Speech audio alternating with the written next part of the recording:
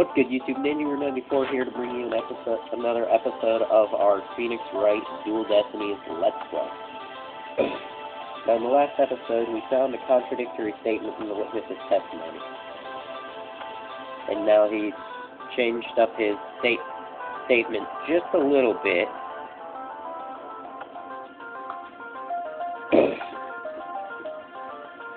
so that he can save his own ass because we already know because we already know all about that he did it due to the we've seen.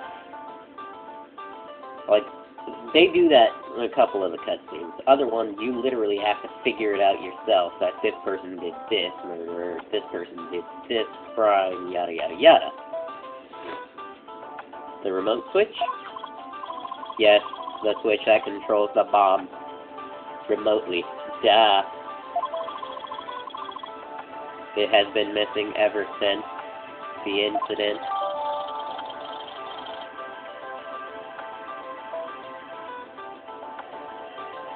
Missing remote switch added to the court record. I am partially to blame. I left the bomb and remote on top of the transport case, and they were rearmed and stolen while I was taking the lawyer, talking with the lawyer. The defendant to then use the bomb, the remote, inside the courtroom to detonate, start the timer. Why? Why would anybody, pissed off at the court or not, go so far as to, and yes, I know I'm going to either get a lot of hate for for this or not enough. And damn it, I have to restart the computer to actually be able to. Uh, uh, to be able to upload again.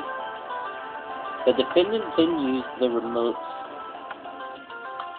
the remote from the inside the courtroom to start the timer. Why would anybody do that, though? How can you assert un unequivocally that the bomb was rearmed in the lobby?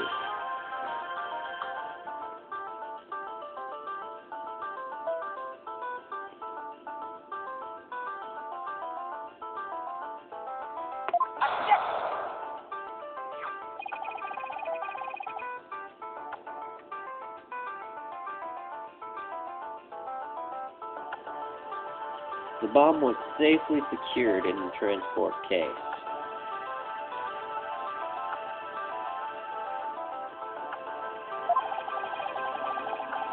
The only time it was outside of the case was in that lobby. Therefore, the one and only opportunity anyone had to meddle with it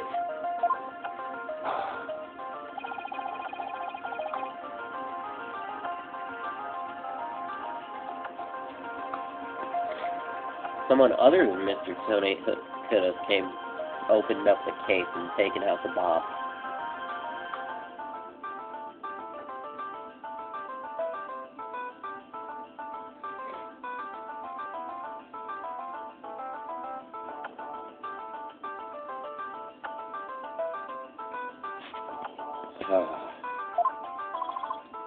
Sorry about that. Looking for a password. Impossible.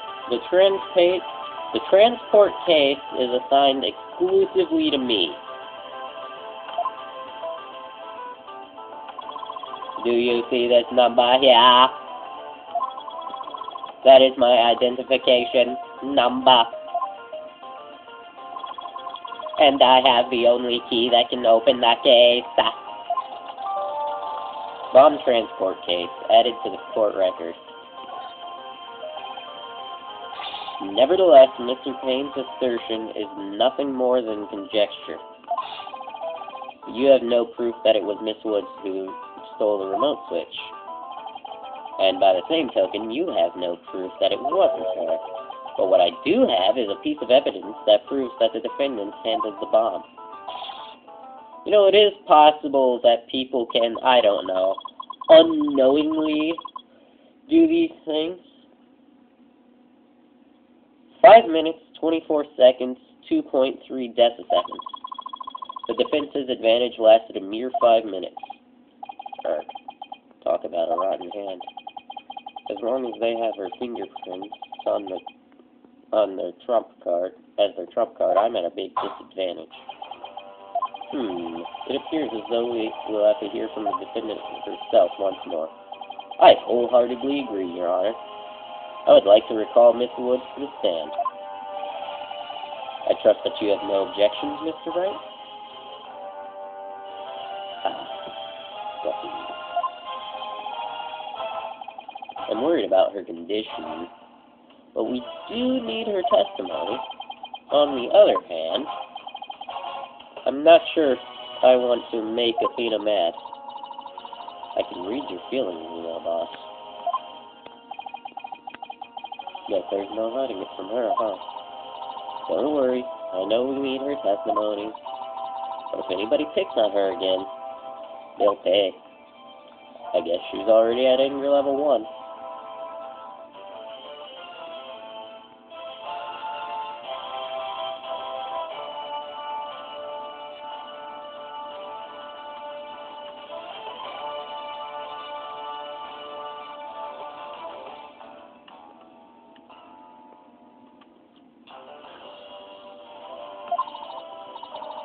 Don't worry, I'll stop the procedure before anything before I let anything bad happen to her.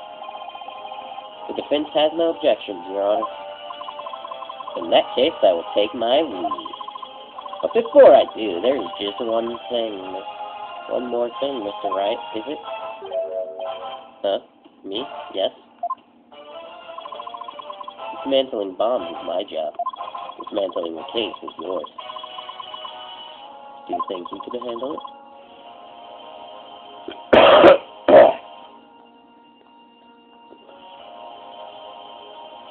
I look forward to seeing you try. I heard this guy has is hiding something, I just know it. Now, if you will excuse me. Bailiff, please go out to the lobby and bring back the defendant.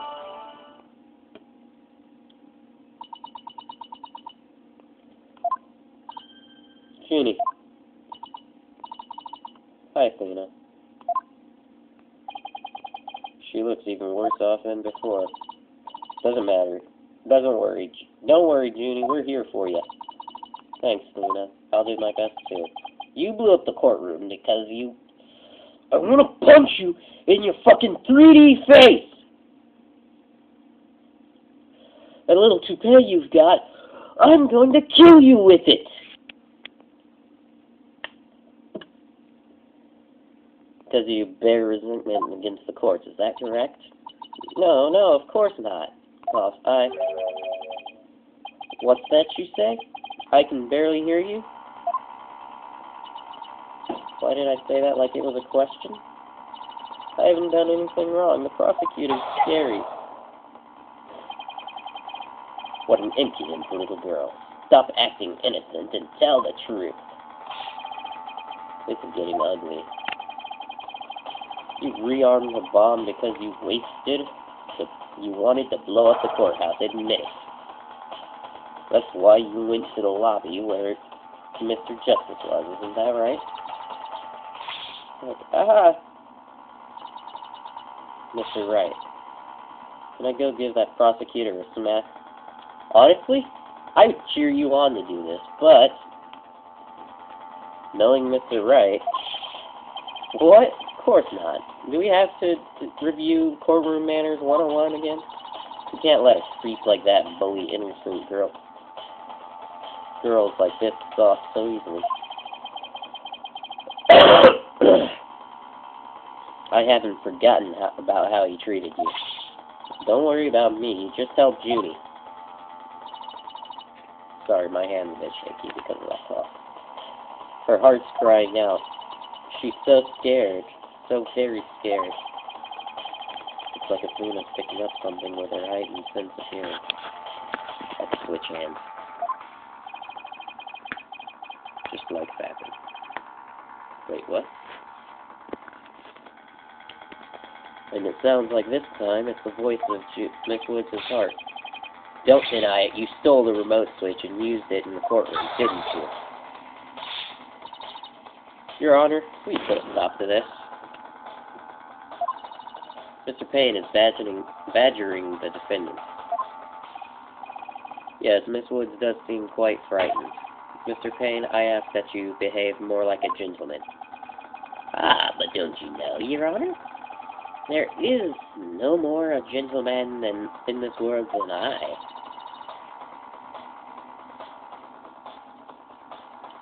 I want to make a remark, but I'm pretty sure I'll piss a bunch of people off, even though, even with the 11 subscribers.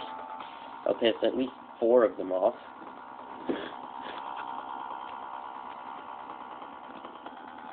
As if a gentleman, or even a gentleman, would behave like he does.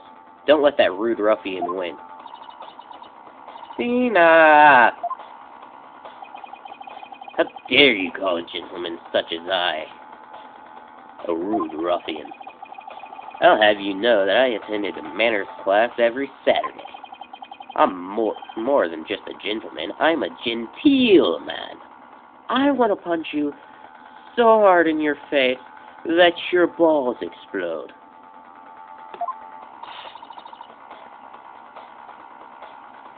Not when you're terrorizing a young lady, you're not.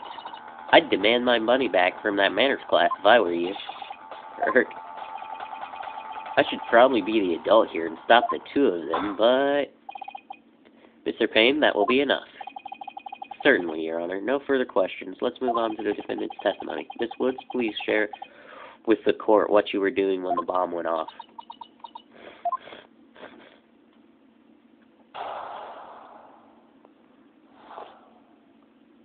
When the bomb went off. Well, that day I was watching from the gallery. Cough, cough. The bomb went off, cough, cough. And rubble started falling. And fell, it fell on top of me, cough, cough. Junie's clearly in pain being forced to recall the bombing like this. She can't even get her words out. This isn't going to work, so what now? Hey, wait a minute. Even if she can't vocalize what she want, wants to say, we can listen to what's inside her heart. Yes, now's the perfect time to use Athena's power. You can hear it, can't you, Athena? The cries of Miss Woods' heart? Yes, and they sound incredibly strange. She's so scared, I think she could collapse any second. Athena has a unique ability, you see. With her finely tuned sense of hearing, she can hear the sound words of a witness's heart. In essence, she can sense how a person is really feeling from their tone of voice. Guess it's all up to Athena and her special ability now. Athena, I want you to use the analytical psychology you studied and listen to the testimony of Miss Woods. Okay, boss. I'll give it a go. After all, this is the whole reason I put all that effort into studying analytical psychology. How do I pronounce that? Alf gets? Let's do this? Are you Russian? Actually, I honestly don't know what language that is. So, your holographic thingamabob can show us how Miss Woods is feeling, right? In a nutshell, yes. The emotions and images that I picked up just now while listening to her testimony. I can enter all that into widget and use the mood matrix to analyze them. There we go. There's mood mood markers that here that reflectuate in Junie's emotions. This is pretty much just a tutorial, so I'll probably skip it.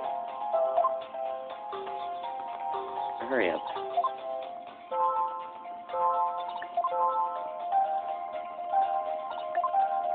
I like how each emotion has a sound, though. That's kind of cool. So with your special ability Widget's Mood Matrix program, we can track how we saw Miss Woods fleeing. Uh, let's see. Talk about the wonders of technology. Yep. Give it a ch shot. I'm picking up on some kind of discord or noise in Junie's heart. See here, this is the noise that noise looks like in uh, the mood matrix. As a result of inconsistencies between her testimony and her feelings. If we can pinpoint these inconsistencies, the noise level should drop. Okay, it's not time to listen to Miss Woods' true testimony.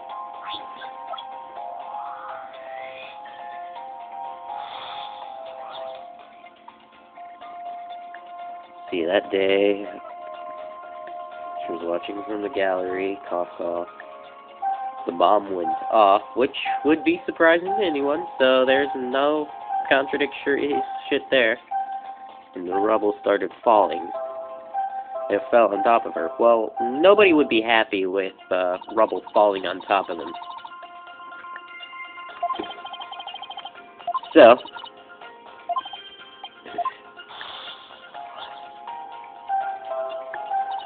It fell on top of her and it says that she's happy, but why would anybody be happy that rubble would fall on top of somebody?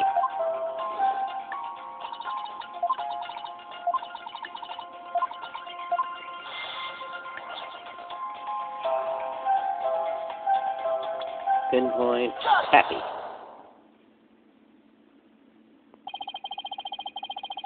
Widget is registering joy when Mr. Miss Woods, bleh, recalls rubble falling on her. There must be a re reason for this unexpected emotion. Miss Woods, as the rubble was falling, was there also something that made you happy? What? Mr. Wright, the feeling of Ju Junie's happiness is spreading throughout Junie's heart. Keep going on this point. I bet Junie will start to calm down. Great, let's hear what she has to say. Um, huh. Just as I was about to escape the courtroom, the bomb went off. I was start so startled, so I tripped. And then rubble started falling on top of me. I thought I was done for. But just this. She's knitting hearts. What the fuck? Apollo came and rescued me. Apollo? He used his own body to shield me from the rubble.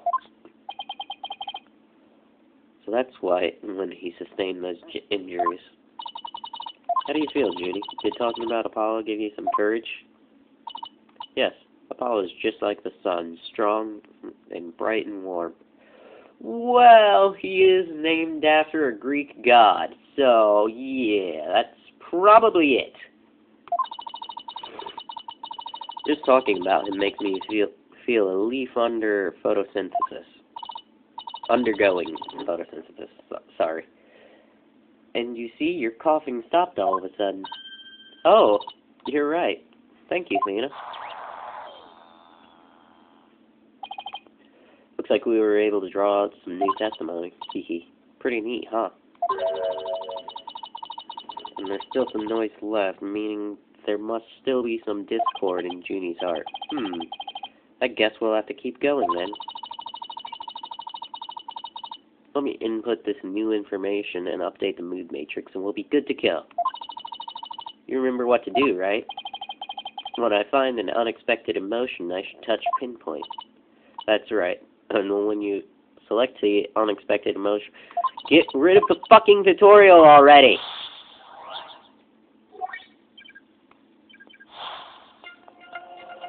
Tried to run, but I was too slow.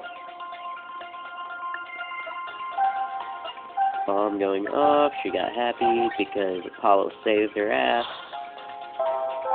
And then she becomes sad. So, you were happy when Mr. Justice rescued you, weren't you? Yes, I was really happy. But, was there something you felt sad about at the time? Sad? The reason I ask is when you were describing how you rescue, we sensed a little sadness, too. Oh. I think it's probably because of Bum Rap Rhiney. Bum Rap Rhiney? Well, what do you know? Something new. That's right.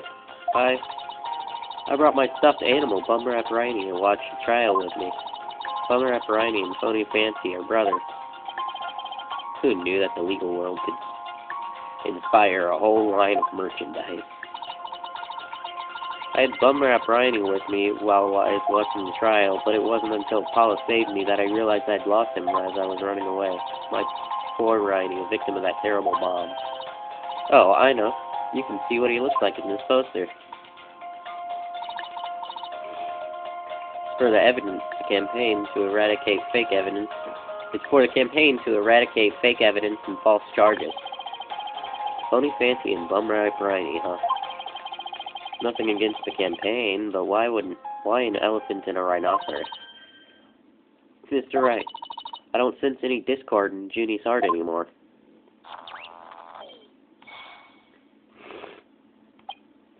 So I guess that means we managed to draw it all out of her testimony. That's right. I'll just make an update with the new info and we'll have the whole picture. So, do you think her new testimony will help? Absolutely. I don't know what I would have done without you, Athena. So, Bummer Rhiney was in that courtroom when the bomb went off. Now that we know that, it changes the meaning of that other piece of evidence. All I have to do is present it at the right statement.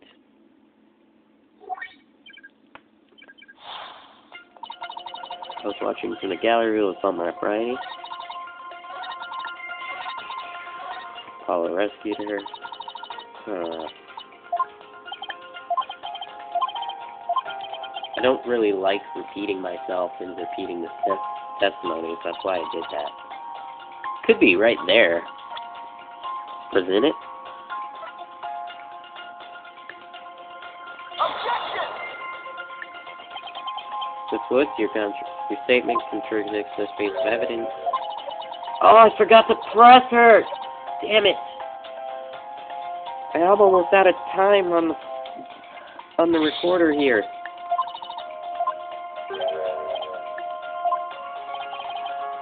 Okay.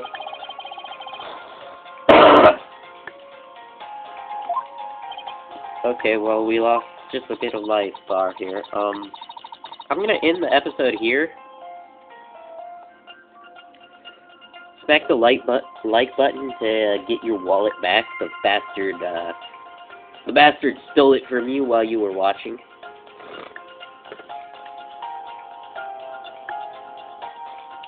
And I will see you guys in the next video.